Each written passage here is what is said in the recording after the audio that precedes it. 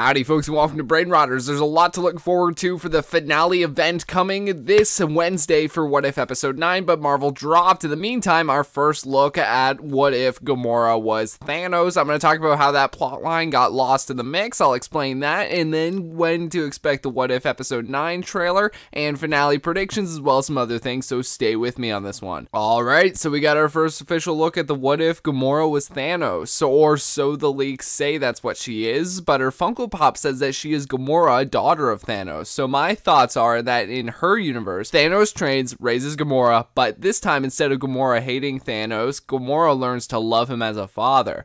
As such, Gamora then joins Thanos in his fight to kill half the universe, thus joining his cause and sharing his motivation to find the stones. In fact, I could see Gamora's whole motivation in this finale event to join the fight with the heroes and the Watcher against Ultron, only if she can have Ultron's stones at the end of the fight. Now, as to why she has Thanos' armor and sword. I can see her wearing that because Thanos likely gave it to her, but I think it would be a lot more interesting to see Thanos die in her universe and have that be when Gamora continues on Thanos' journey, kind of picking up the torch, so to speak. I mean, we saw in Infinity War when she killed Thanos, or when she thought she killed Thanos, she was weeping over his dead body. You could argue that it was tears of relief that she no longer needed to look over her shoulder, but Deep down, it was because Thanos was the only father she ever knew. Point being, if our good Gamora can have a reaction like that, being an estranged daughter of Thanos, imagine how Thanos' death would now impact her if she was closer with him than anyone ever. If she wasn't estranged, if she truly did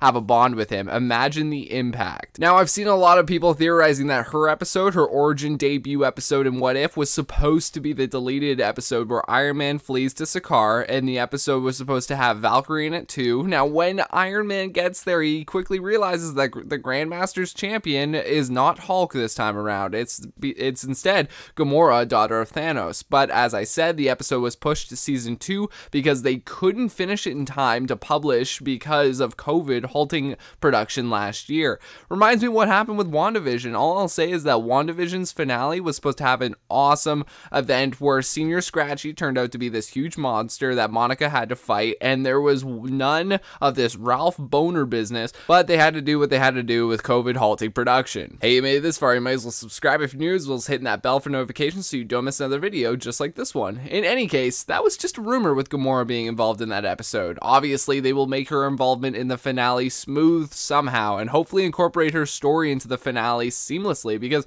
come on, we're all hoping this story, this finale, doesn't share the same 30 minute runtime that the rest of the What If episodes have, and instead instead is at least an hour long because we have so many holes to cover, stories to finish, and the multiverse, you know, we have to tease a lot more of that in a post credit scene, if not near the end of the episode, putting the multiverse in some kind of jeopardy that leads right into the multiverse of madness or No Way Home or whatever the case. Lastly, tomorrow's trailer should come around 11 a.m. like the usual and expect it to show a little more on the multiversal team up that the Watcher orchestrates with Doctor Strange Supreme and to headline this Thanos Gamora that we will get in What If Episode 9. Thank you all so much for watching. I appreciate it. Thank you all for the massive support. Make sure to subscribe so you don't miss my trailer breakdown tomorrow for What If Episode 9. Thanks all again for watching. Have a great rest of your day.